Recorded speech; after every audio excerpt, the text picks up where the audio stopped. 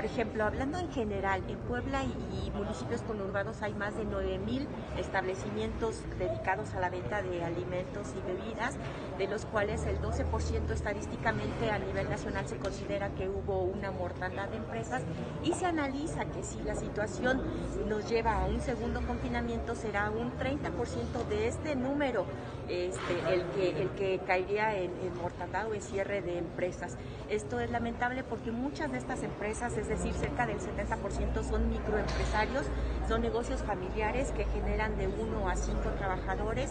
y bueno, la verdad es que nosotros queremos seguir avanzando, esperamos por lo menos al cierre de diciembre ya tener, eh, no sé, un 50% de nuestras ventas. Yo les quiero decir que el sector restaurantero ha sido consciente, aunque no hemos llegado ni siquiera al 40% de ventas, tenemos el 70% de los afiliados a Canirac tiene su plantilla al 100%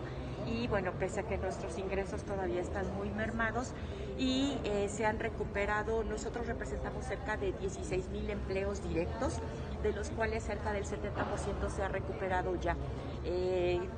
son muy poquitos los que están todavía descansando tres días. Eh, y eso pues también les afecta a ellos, pero también se da, todo esto se da a la medida del movimiento de los ingresos. A mí me gustaría saber su opinión acerca de la remodelación, bueno, que van a hacer ahí en el